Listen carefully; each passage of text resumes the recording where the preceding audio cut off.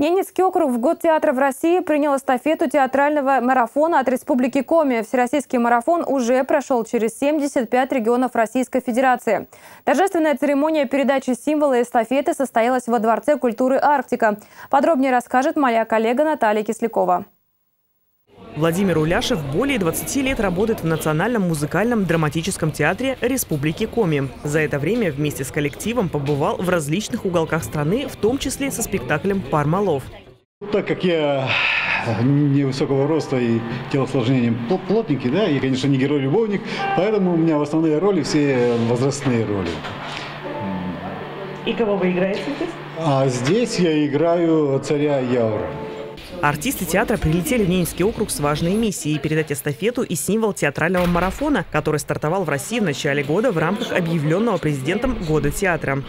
Мы рады тут быть, тут присутствовать. Нам очень э, приятно, что вам выпала такая честь передать эстафету вам вот здесь, на Рьян-Маре. И думаю, что и спектакль зрителям понравится. Пармалов, душа Пармы. И са, сам миф, он красивый, то есть легенда. И я думаю, что вот этот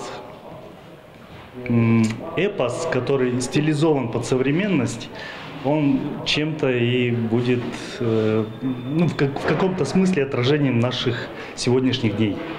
На пути героев коми спектакля, название на русский язык переводится как «Душа тайги», встречается множество препятствий, но благодаря силе их песен путешественники находят выход. В спектакле вживую звучат многие народные инструменты. Песни играют большую роль, являясь связующей нитью сюжета. Перед началом спектакля всем зрителям выдали наушники, через которые транслируется перевод с коми на русский язык.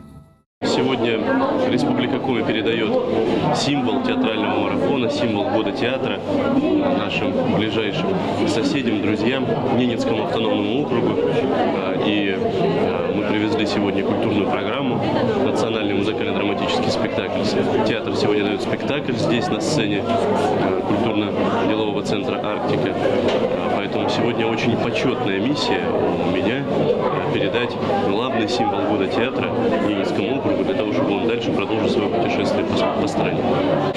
Нас очень почетно получить э, сам символ года театра. Он уже прошел 75 регионов, и мы, в свою очередь, 20 числа передаем символ года театра в Республику Карелия, в город Патризаводске.